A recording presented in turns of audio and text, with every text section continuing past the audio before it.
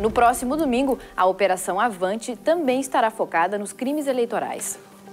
O efetivo da operação, que conta com policiais da Brigada Militar e da Força Nacional, vai atuar principalmente nas zonas eleitorais de maior movimentação na capital gaúcha.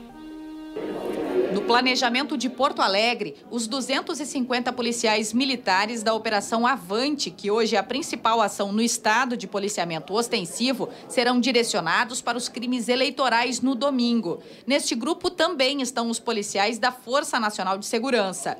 O vídeo monitoramento será usado como apoio no trabalho. Os crimes comuns com registro em flagrante seguem o mesmo procedimento de rotina. Já para as questões eleitorais, a estratégia do Comando de Policiamento parte de informações do Tribunal Regional Eleitoral. Então daremos atenção aos locais em que os juízes eleitorais nos elencaram de ter maiores problemas e também naqueles de maior movimentação. Então, nesses nós teremos uma atenção especial com o efetivo da Avante. Nos demais, nós teremos o patrulhamento né, nas sessões e dando atenção a todos os crimes eleitorais.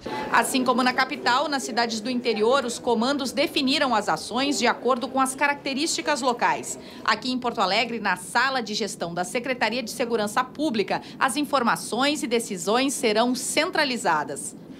Para esse próximo domingo, estarão reunidos aqui na sala de gestão do Departamento de Comando e Controle Integrado da Secretaria de Segurança, representantes da Justiça Eleitoral, da Polícia Federal, da Brigada Militar e da Polícia Civil. A ideia é integração, integração e agilização à medida das dificuldades que forem ocorrendo.